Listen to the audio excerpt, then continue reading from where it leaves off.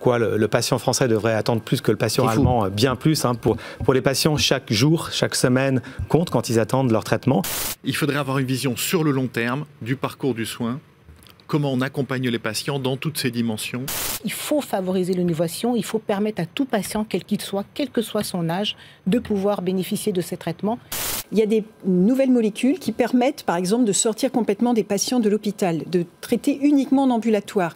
N'oublions pas, notre priorité à la fin, c'est l'accès euh, du, euh, du, médicament à nos patients.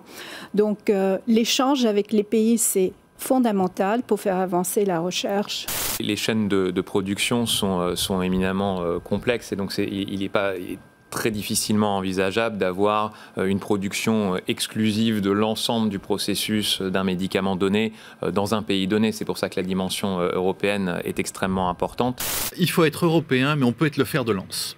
Pour moi, il y a un autre point qui est extrêmement important, c'est le budget médicament. Parce qu'on peut accélérer les délais, mais aujourd'hui, on voit qu'on a un budget médicament qui est sous-optimal, qui a dégringolé en part relative au budget de la santé, qui est le plus bas de l'Europe. Sans investissement, il ne peut pas y avoir de leadership.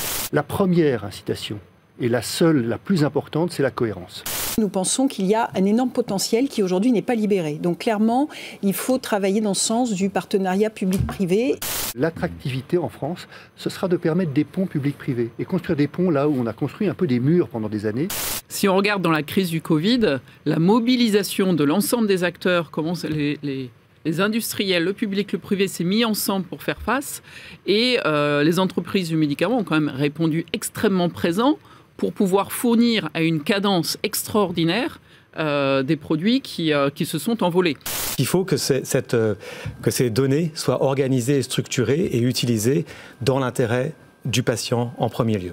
Le mécanisme d'accès précoce permet déjà de baisser ça et de rendre les produits innovants accessibles dans un cadre particulier, mais vraiment, c'est un sujet sur lequel j'engage le prochain gouvernement à travailler de façon résolue.